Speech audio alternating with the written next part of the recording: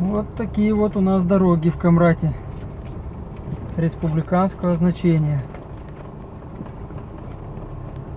Здесь на джипе можно задеть дно, не то что легковой.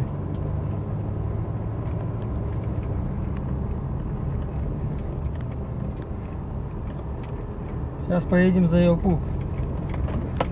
Посмотрим еще пару дорог. Как их у нас не делают.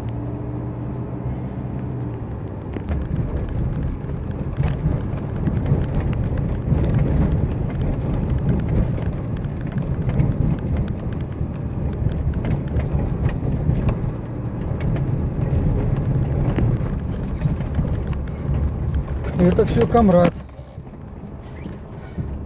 Знаменитые дороги наши.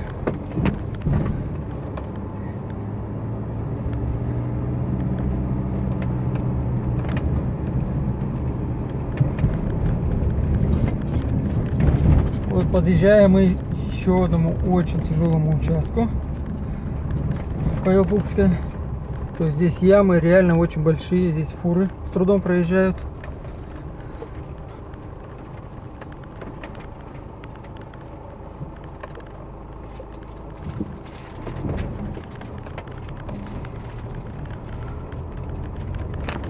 Вообще нам обещали, что объездную сделают, минуя Камрад, но смотрю, обещания остаются только в словах. Никаких дел. Одни обещания. У нас, наверное, страна только может обещать, на деле ничего не делает.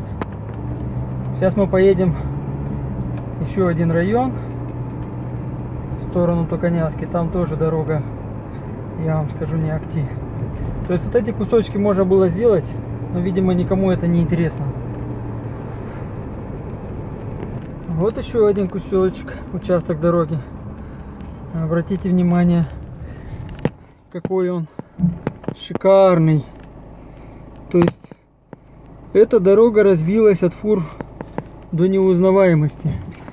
Кстати, выше по этой дороге тоже хорошая ямка. Если поднимаешься, ее не видно. И то есть на нее можно очень серьезно нарваться и ударить машину.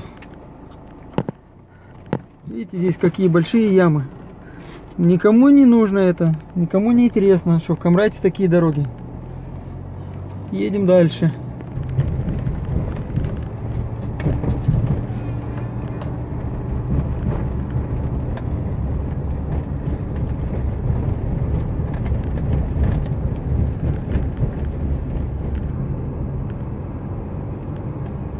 Так, это у нас уже в сторону Кирсова дорога идет. Тоже республиканского значения. То есть